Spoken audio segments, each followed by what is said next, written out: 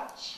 I come here as a doctor and a paediatrician, a children's specialist, to talk about the medical effects of Fukushima, accident that has ever occurred in human history. It, it was very severe to have three nuclear meltdowns, which has never occurred before. An enormous amount of radiation was released, and luckily, for the first few days, the wind was blowing from east to west, and it blew across the Pacific Ocean. But then the wind changed and blew northwest across Japan, and in fact, radiation was blown to the south. As you know, the Japanese government was assessing the radiation with a system called SPEEDI, and they knew where the radiation was going, but they didn't inform the people because they didn't want to create panic. So the people fled into the path of the maximum radiation. I have followed the Chernobyl accident very closely, but the Russians were much more proactive in removing people than the Japanese government has been in looking after its people. What the Japanese politicians and TEPCO seem not to understand is that children are 10 to 20 times more sensitive to the effects of radiation than adults.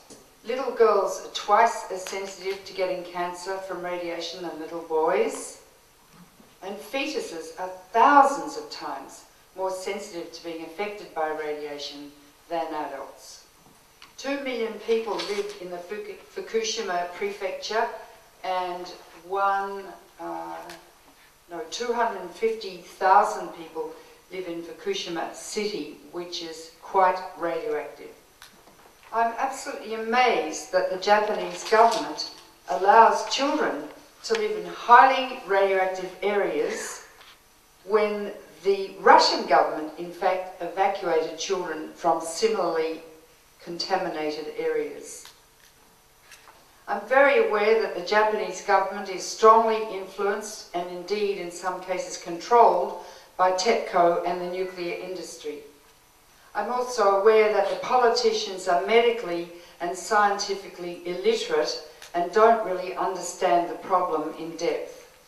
To allow children and, and pregnant women and women of childbearing age to remain in Fukushima Prefecture and Fukushima City and in areas of very high radiation is medically criminal.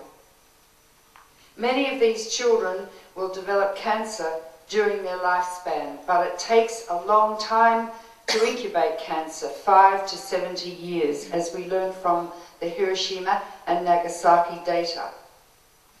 To indicate what is happening, um, authorities have examined 80,000 people, mostly children under the age of 18 in the Fukushima prefecture.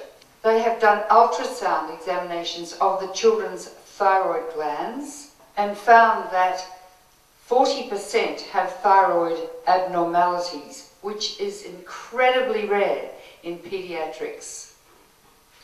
Some of these children almost certainly are bound to develop cancer of the thyroid, and indeed, one 12 year old boy has already been diagnosed with it, and a girl aged about 16 may already have developed cancer. They're testing her now. It took five years for the children around Chernobyl to start developing cancer, but these children are showing symptoms and signs that indicate that they may well develop cancer in the future, indicating that they got a really high dose of radiation, higher than at Chernobyl. It seems to me as a doctor that the Japanese government is much more interested in protecting TEPCO than it is in protecting the Japanese people. It is imperative that the children living in high radiation areas, women of childbearing age and pregnant women be evacuated and that their costs be covered, that, they, that, that their costs for moving and living in a new house be covered by the federal government. Indeed, the federal government has bailed out TEPCO rather than looking after these very, very vulnerable people. Radioactive elements concentrate in food, mushrooms, spinach, rice, tea, and fish. You can't taste radiation in food, nor can you smell it, nor can you see it, and people are eating radioactive food from Fukushima, and there are no regulations about radioactive food being consumed in Japan. If you mm, eat, eat food or fish containing cesium-137, years later you may well develop a brain cancer, a muscle cancer, cancer of the ovary or testicle or other organs. Children in school and kindergarten, little children, are being fed radioactive food in Fukushima Prefecture. This is medically immoral. All the food grown in Fukushima and other areas should be tested weekly for radioactive contamination and not sold to the public and not be eaten. The fish from the Pacific uh, are showing high levels of radiation because huge quantities of radioactive elements were discharged into the Pacific Ocean, greater than has ever happened in the history of human beings. I have lectured now to 400 people in a general lecture. People are desperate to know what to do, and it's the media's responsibility to teach them facts about what is happening to this country because of Fukushima, and I don't see that happening in general.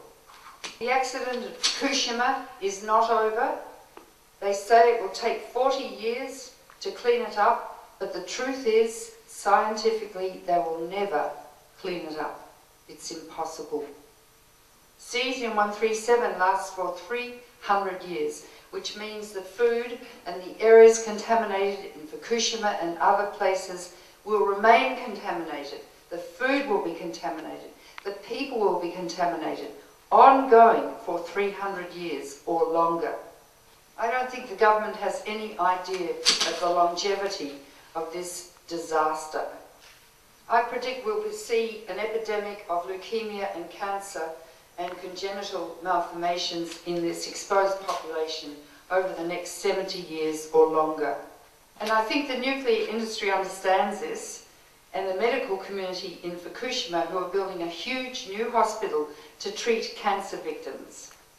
There is no record being kept publicly of what is happening to those poor workers who are struggling to control the reactors uh, going into very high radiation areas. We don't know how sick they are. We don't know what radiation doses they've received. That all should be public information, and it's up to the media to find that out. The most important thing you need to do is to inform the people of Japan that if an earthquake greater than seven occurs near Fukushima, building four will collapse, the cooling pool will fall to the ground, burning, releasing 10 times more radiation than at Chernobyl. That will be the end of much of Japan, and I don't think you really understand the danger under which you are living. Politicians are already saying if Building 4 collapses, Tokyo will have to be evacuated. I don't know where 30 million people will go. The Japanese government and TEPCO have not allowed foreign companies, uh, the Nuclear Regulatory Commission from America, and specialists to come and help uh, reinforce Building 4. And it's going to take them alone two years to fix it, to get a big crane on top to move the spent fuel rods. Anything could happen in two years. Why have they not reached out to the international community? And the last thing to say is that radioactive debris from around Fukushima is being taken to other areas of Japan and incinerated, thus spreading radiation in other areas of Japan. That's criminal.